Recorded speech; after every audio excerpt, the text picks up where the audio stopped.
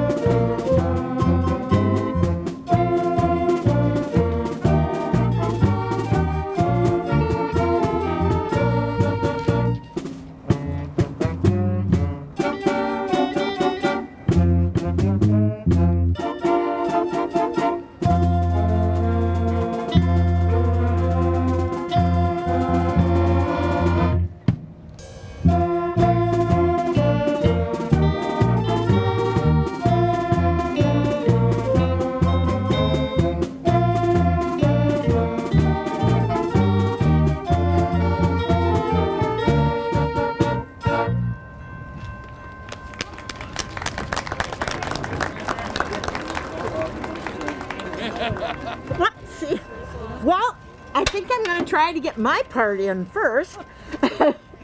I would like to say good afternoon to everyone.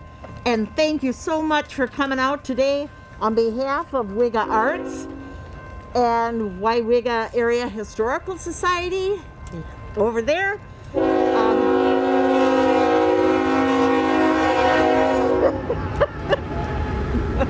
yeah, woo!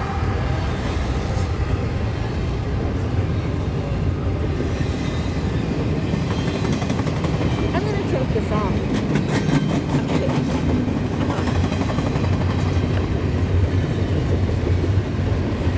Okay. Is it a long one? Can you hear me? I'll just keep going. Okay. Friends and volunteers, we welcome you to this remembrance event. We thank all of you for coming to commemorate the 25th anniversary when a freight train involving 37 cars derailed right near this very site. Most of those involved will never forget what happened after Jim Bayman, Assistant Fire Chief, got a call from Waupaca County Dispatch at 5.55 a.m.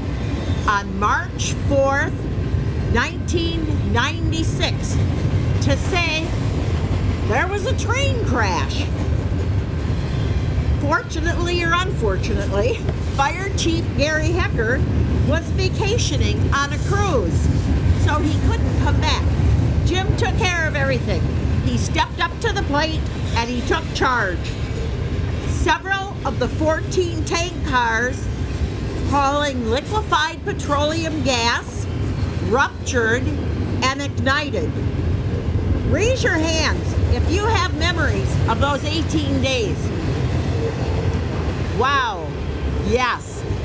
And I'm sure everybody has a story to tell.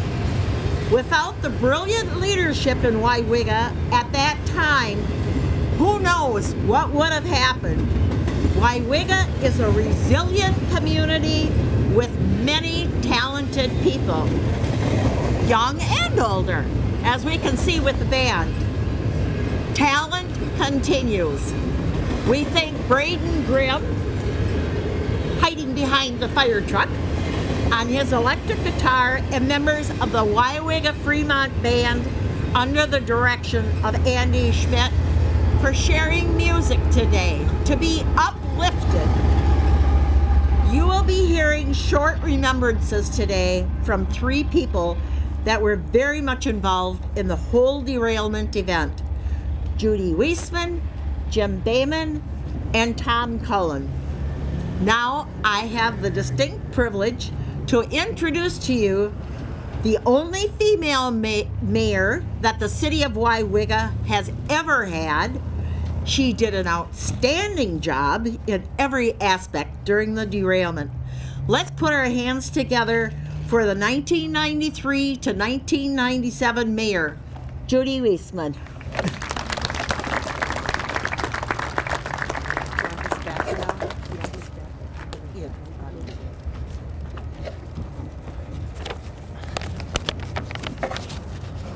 Thank you, Mary. You are a true advocate of Weyauwega. And thank you, Ian and Kathy, for your interest in this story. I'm very pleased to, I was very pleased to be asked to speak to you today. And chronologically, I'm really pleased to be here. People always seem to know where they were on 9 11 when the towers were hit. But where were you when you first heard about the derailment? Everyone has a story about that day and beyond. Most likely, like me, you were still in bed around 6.45 a.m. We lived on 2nd Avenue, just a couple of blocks over here. And the booming noise made me bound out of bed and look out the bedroom window. I told Ron, my husband, the co-op blew up, and all I saw was orange fire. I was a photojournalist for the Post Crescent back then and in the newspaper business for about 25 years.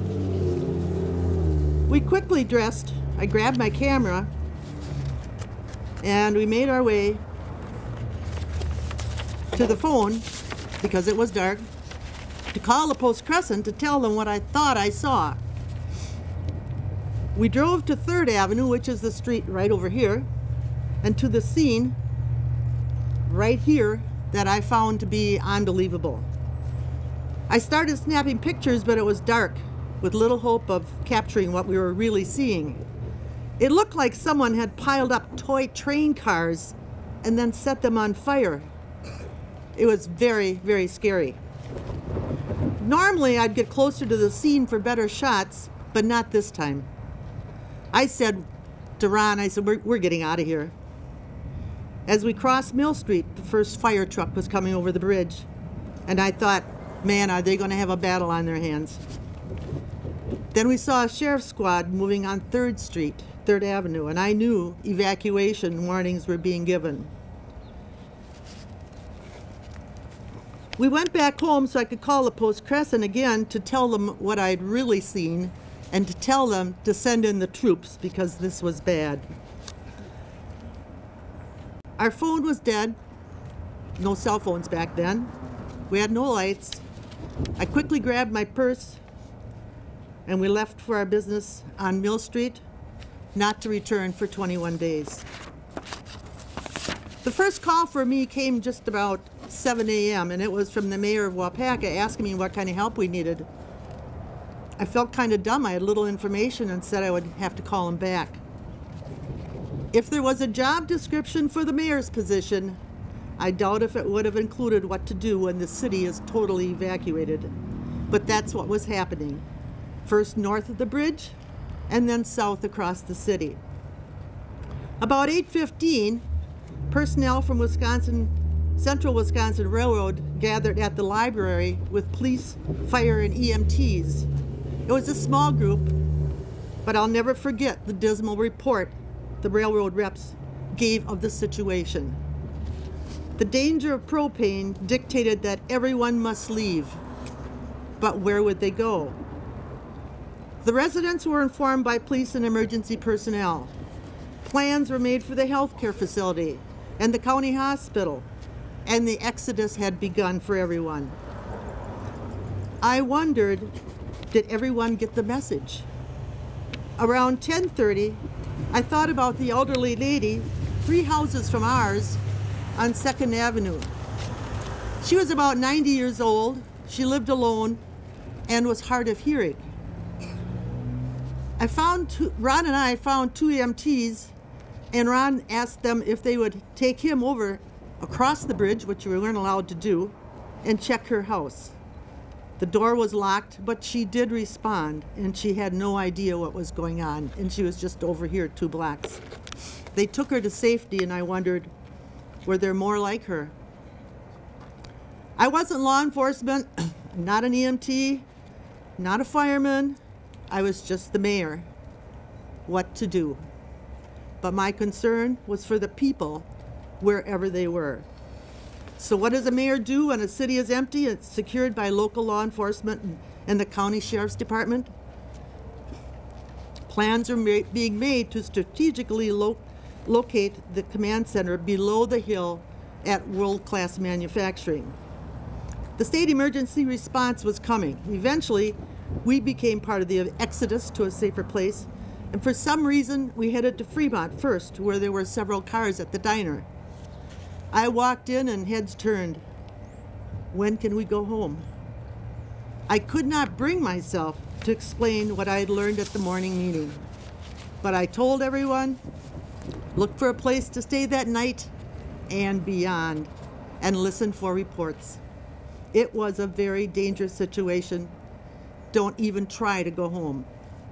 Then we drove to Waupaca, where Wyomingans gathered seemingly everywhere. Again, they asked, when can we go home? Eventually, the public was informed. Railroad personnel were bringing in experts to deal with the propane. Our firemen put in long hours. Our EMTs manned the phones at the command center.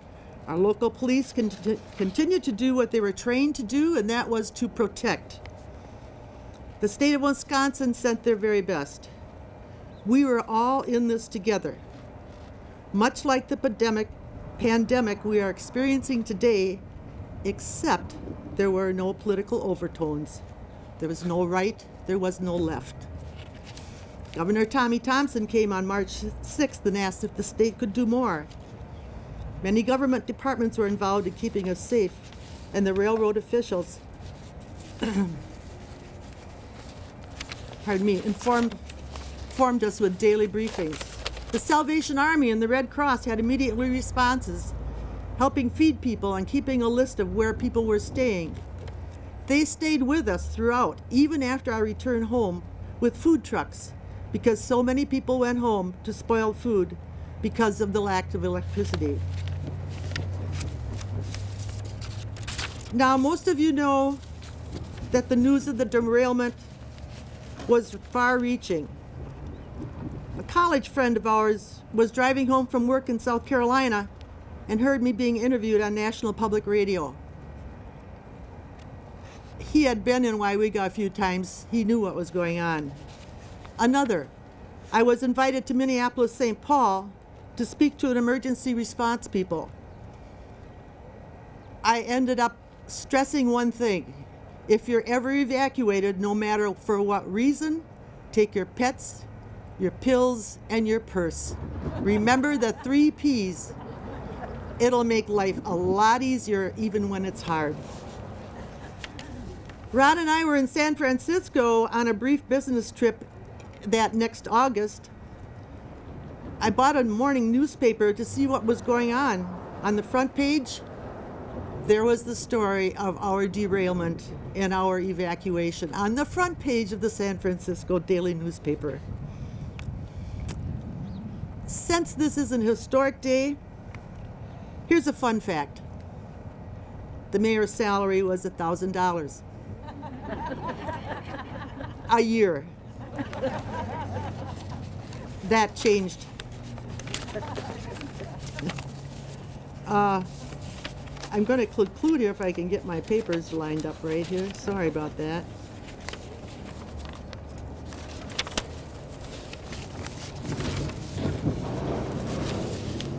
I have to tell you that my faith got me and others through this time. Countless prayers went up. Even though our churches were locked and two of our residents passed away during that period, and funerals could not be held at the churches, the need for a higher power was obvious. We returned to our homes, no matter what the condition they were in, and more important, more important, we returned to each other. Thank you.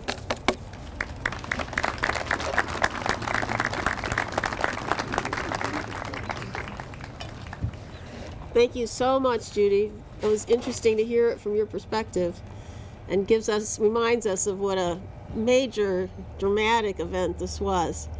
And now I'd like to introduce Jim Bainman, who was in charge, uh, as Mary Jane pointed out, of without really planning to be, of the entire orchestration of saving the town. Please. Thank you.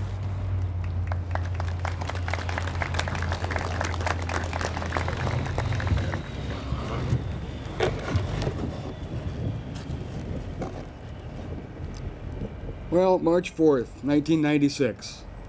Many of you here today lived through this incident and have your own memories. But here are a few things that you may not know. Things that didn't happen. 37 rail cars derailed, 14 cars containing propane. We feared that a BLEVE could happen. A BLEVE is described as a boiling liquid, expanding vapor explosion. This had happened in previous propane derailments, with pieces of tank cars landing over a mile away. 14 propane-filled tanks at 33,000 gallons each equaled 469,000 gallons of propane, the largest single propane incident in American history. When the explosives expert Billy Poe blew off the last two problem cars on the 14th day. And they had a combined total of just 13,000 gallons. The concussion was heard a mile away, and the fireball went hundreds of feet into the air. Had an explosion happened on that first morning, with all the propane cars included, it could have been 36 times greater. Also, when we contacted Billy on the 14th day, we didn't know if he could or would help us. I was told that if he couldn't do the job, our last option was to call for an aircraft strike to blow it up. Fortunately, Billy was successful. The numbers offered to me that first morning were astounding. If an explosion had occurred within 700 feet everyone could have died. Within 1,300 feet up to Ann Street, lung damage would be sustained. Within 1,800 feet up to Main Street, extensive property damage would occur. Within 2,300 feet up to the library, human ear damage would occur. Within 4,600 feet, the top of the hill, walls would collapse. But it didn't happen. There were no deaths and only one injury reported during the 14-day fire. One person from an industrial business tripped and fell, injuring both elbows when the lights went out. One elderly lady did pass away during the bus ride into reentry, but this was the safest disaster in American history. The evacuation was a solid success. The entire city was evacuated in less than five hours. Many left behind their money, medicine, and pets. And soon PETA threatened to force entry into the city to retrieve the pets. But it didn't happen. We feared the use of the National Guard armored personnel carriers. For the pet rescue, as the site crew indicated the ground vibration could be enough to trigger an explosion. But it didn't happen. We feared that the city water system was compromised. We had to shut down the system on the sixth day due to water loss. The water pumps for the towers could not keep enough water in the system due to the leaks. The city engineers feared water line contamination and collapse due to the age of the piping. Fortunately, that didn't happen. We discovered water from the mill pond was running around the dam, eroding the foundation. The spring runoff was happening, and the dam's automatic system did not have electricity. We sent in a crew to manually open the floodgates.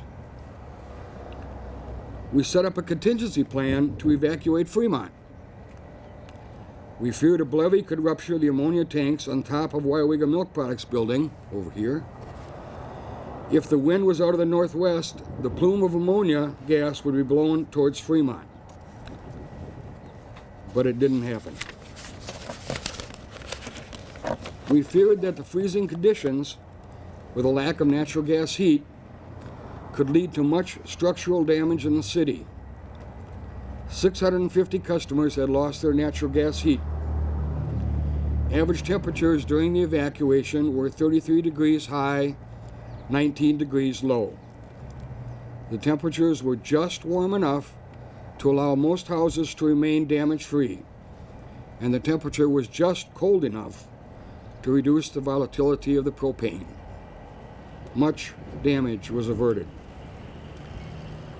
When I look back at all the things that could have gone wrong during this incident and didn't, I am convinced that the Almighty was looking out for us. Thank you.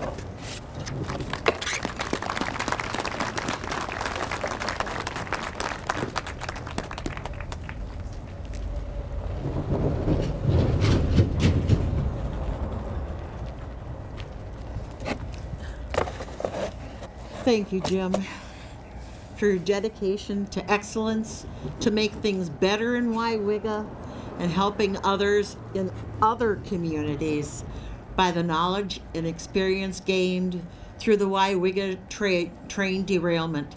You surely stepped up to the plate when you got the call. One thing Jim didn't include was the fact that there were other areas that wanted, I think Judy alluded to that a little bit. Um, other places around the country wanted to know how how did it go? How did you do it so successfully? And they had a chance to go and uh, share what they knew after the fact. So now, our last, but certainly not least, speaker who fought the derailment fire with all his might and natural leadership skills, the iridescent strip of his fi- uh, Fire Department coat are quite visible on many of the pictures of the March 4th derailment.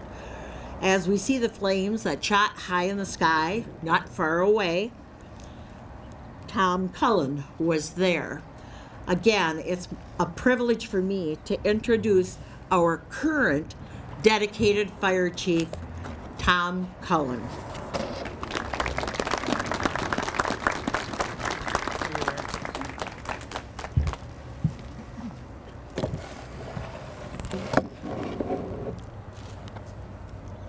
Thank you, and um, I appreciate you asking me to be here.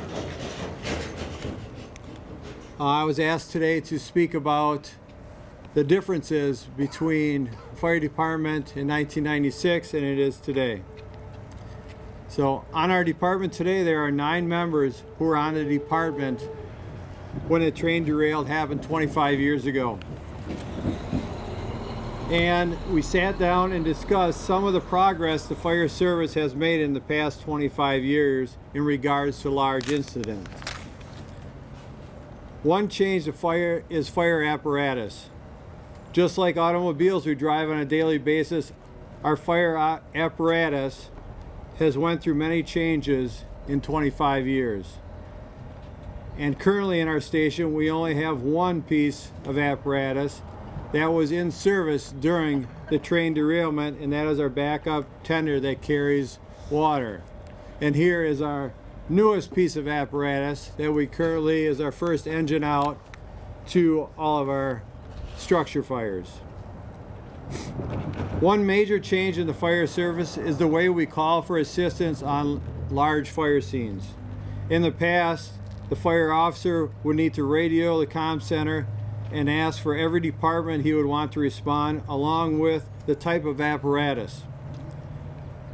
Today in Wisconsin, most counties are part of the mutual aid box alarm system, which is called MABAS.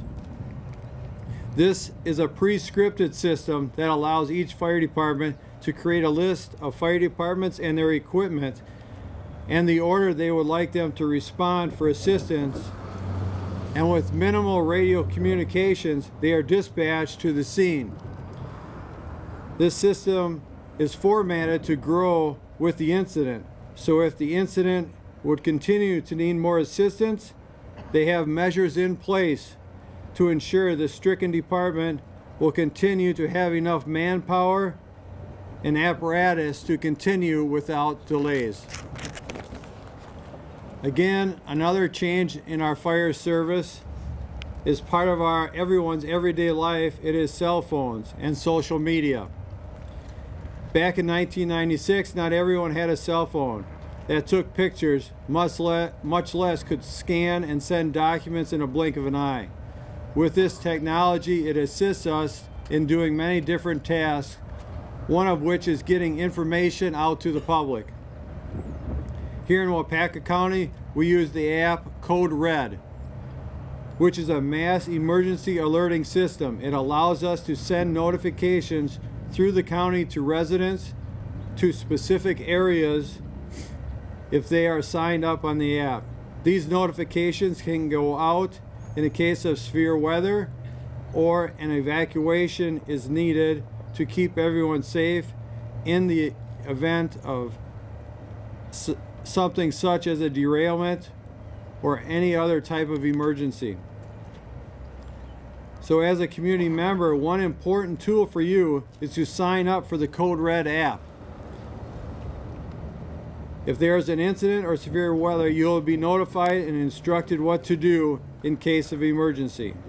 Along with Code Red services, most fire departments have a Facebook page and a website to allow for easy distribution of information. So please make sure you are part of your local fire department's social media.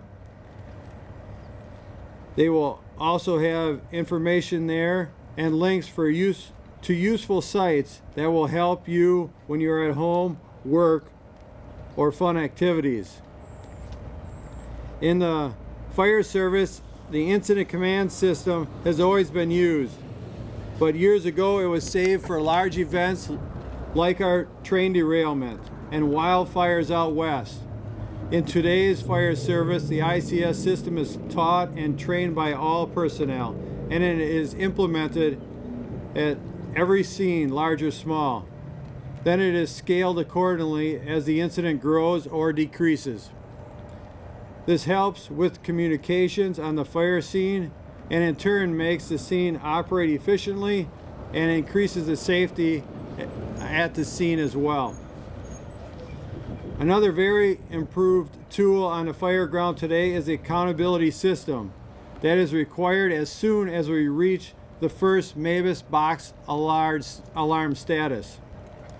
With this implementation, it ensures that the fire scene will have an accountability person that will keep accountability of where all the fire personnel are assigned and most importantly when all personnel are out and accounted for.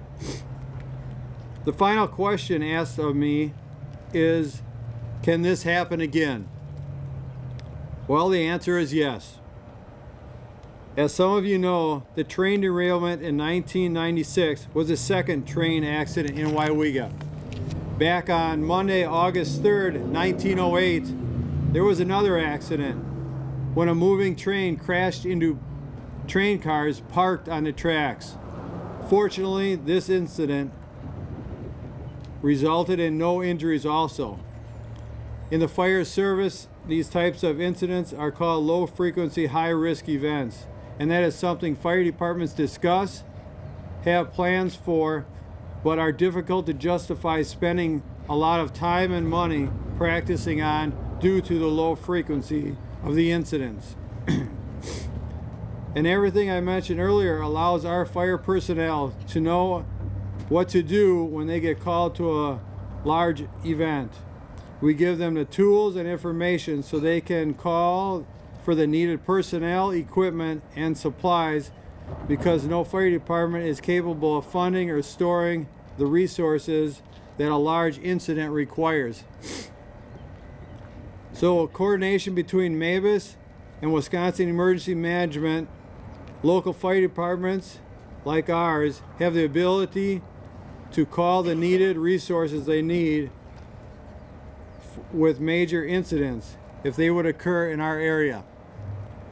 So with the railroad industry being a big player in the distribution of propane, crude oil, along with many other chemicals that are transported through our county, there is always a possibility for accidents that require major resources to properly control the situation. Believe me, I hope it never happens again here. But the big realistic question is not if this will happen again, it is where and when. Thank you.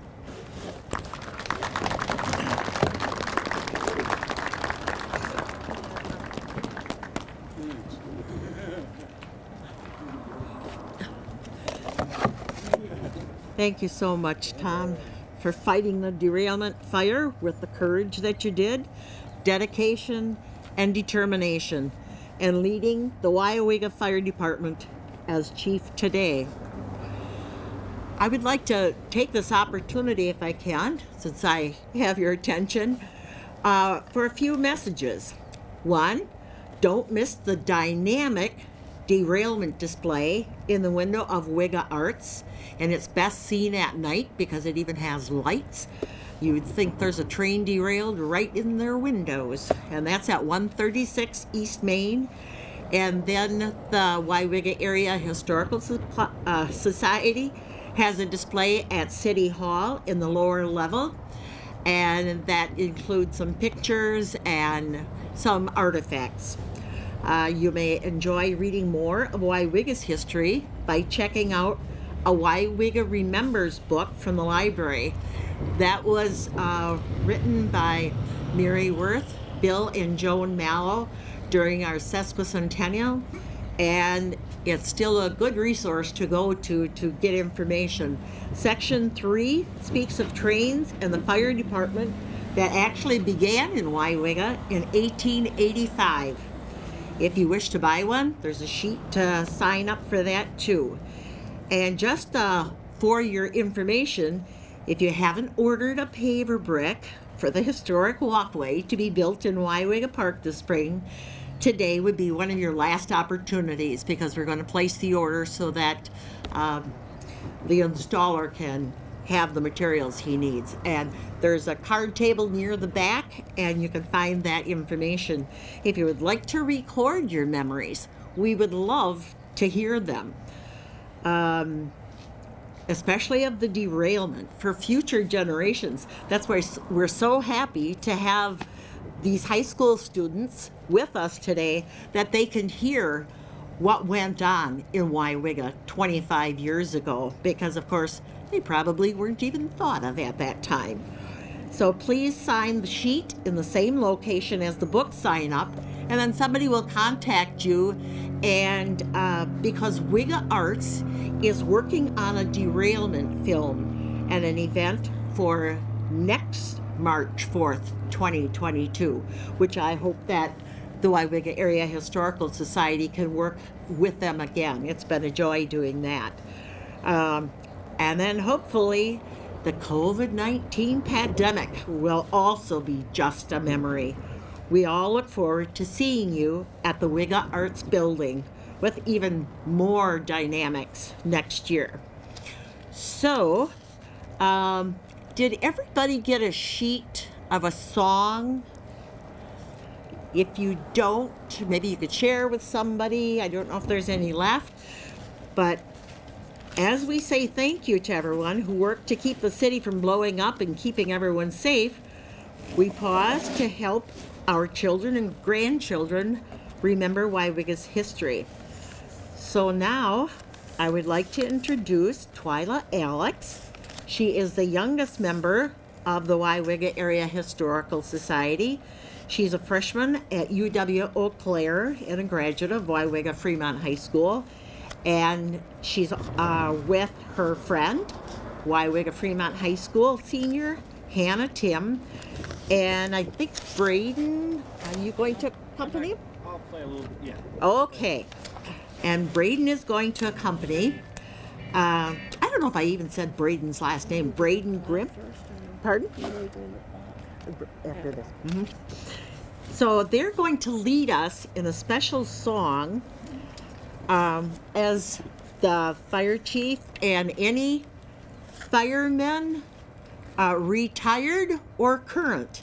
I know we have one right here. Any other Weyauwega Fire Department volunteers here? Anyway, come forward and you will be receiving uh, an appreciation plaque. But as they come forward, we are to gather. You girls want to come up? Let us join in a special song. Grab your song sheets and join us as we all sing to the tune I've been working on the railroad with a special twist of words by our own historian Marietta Pop. She put it together after the derailment in 1996 while waiting for a train to pass so she could get over the tracks. It was written to be dedicated in appreciation to all our brave firefighters. So if you have your sheet, do we have, try, are you gonna sing down there? Okay. Okay. So let's see.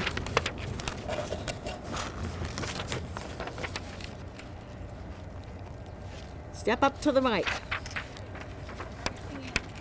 You want to take your mask off? What? Derailed? The, the one you've been handing out? Okay. Do you have a question? Okay. Everybody's going to join in anyway. So, Hannah, you want to get closer to the mic? There we go. Okay.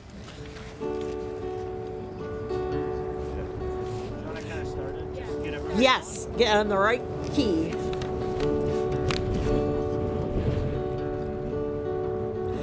Uh, start it out. we'll join in. I've been working on the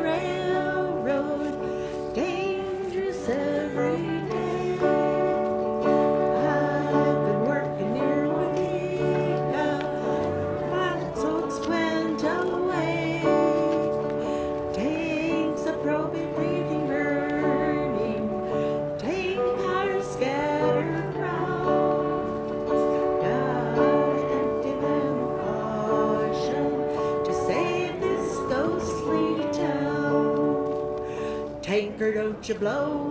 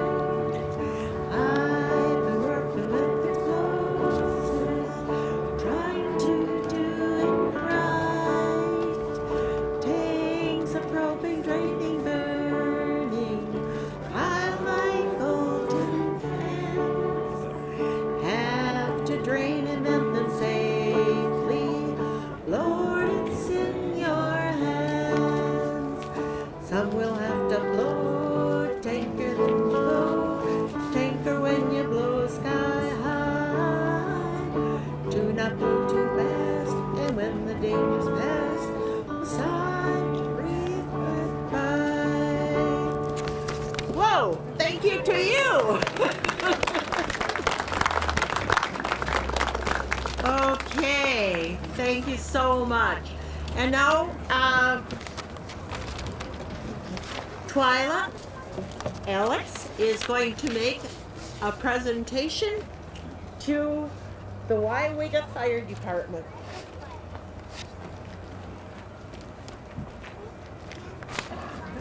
Um, first and foremost, I would like to thank everyone that was able to make this happen, especially the Weyauwega Area Historical Society as well as the Wega Arts.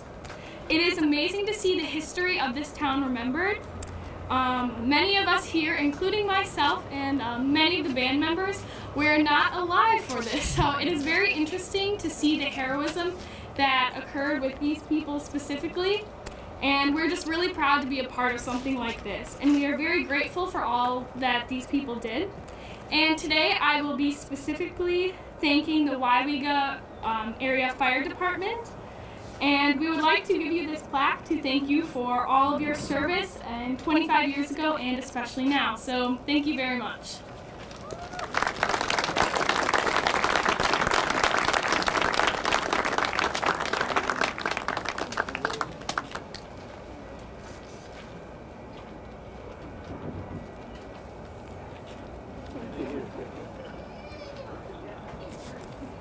So we are now going to be singing um, God Bless Weyauwega, and we'll sing the first verse, and then, We'll do that after the band. Just kidding, one more number from the band. Thank you.